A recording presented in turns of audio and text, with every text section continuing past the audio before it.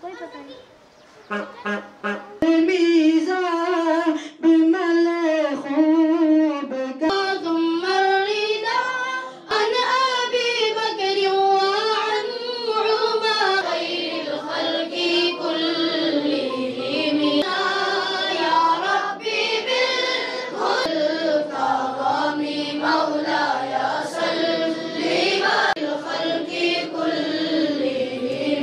اور آج پونچ سے میں ایک بار پھر کہوں گا کہ یہاں غریب نواز ہاسٹل میں یہ ایک پروگرام تھا جو بہت ہی اچھے سے ہوا اور حاجی عبدالعزیز میر صاحب کی زیر سرپرستی میں ہوا۔ اللہ تعالیٰ ان کو بھی جزایا دے اور حافظ مجید صاحب جنہوں نے دعاؤں سے اس کو اختتام کیا اور اس قافلے کو روانہ کر رہے ہیں اور مجھے لگتا ہے کہ لگتا نہیں، یہ بھی خود ساتھ چل رہے ہیں۔